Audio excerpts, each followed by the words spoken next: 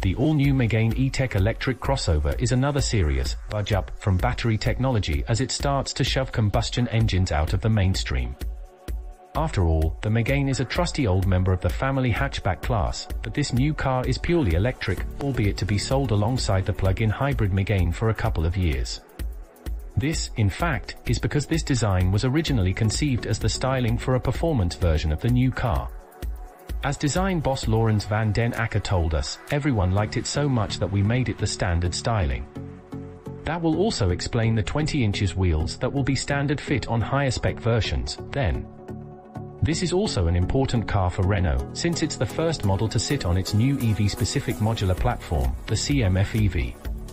In this guise, that means front-wheel drive and a slimline mattress of lithium-ion batteries with a usable capacity of either 40 kWh or 60 kWh, which translates to a WLTP range of 186 or 292 miles. DC rapid charging can be done at a rate of up to 130 kilowatts on the 60 kWh model, which is good for a 10 to 80% charge in half an hour.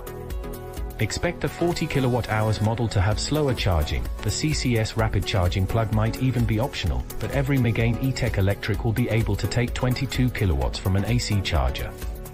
As for how it drives, well, Renault banded about the phrase, this is the GTI of the class in its press conference, which Volkswagen might not be too pleased about, nor Renault Sport, we imagine.